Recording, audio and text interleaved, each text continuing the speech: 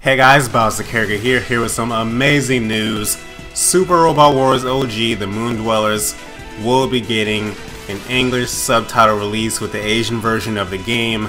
Yes, you will be able to play a Super Robot Wars game in English in the year 2016.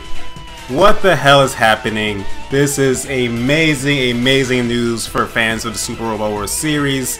The last game got in English was OG2 on the GBA back in 20, I mean 2006. So yes, it's been about 10 years, and this is long overdue.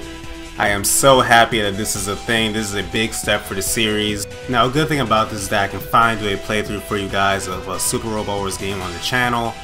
Never say this on video, but something I've always wanted to do was play a SRW game for you guys, but all the English games we got are either old and I had no interest in replaying them, or they're fan translated and you gotta like use guides and all that. And my Japanese isn't fluent enough to the point where I can read every single little piece of dialogue for you guys and comprehend what's being said at the same time, so this is perfect.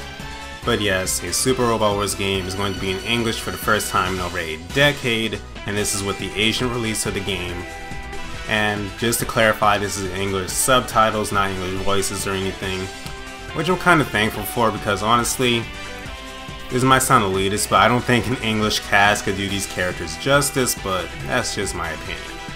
But yes, no release date on the game yet, but given Banpresto's track record of announcing games and releasing them, I'm going to assume May at the latest.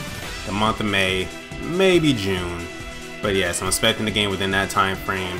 And as soon as I get my copy of the game, you will be there with every single moment on Twitch or my channel with me, so yeah, stay tuned for that. But give me your thoughts on this. Are you excited as I am about this? Have you played any Super Robot Wars games? Let me know. Love to hear it. Thank you guys so much for watching, and as always, have a great day.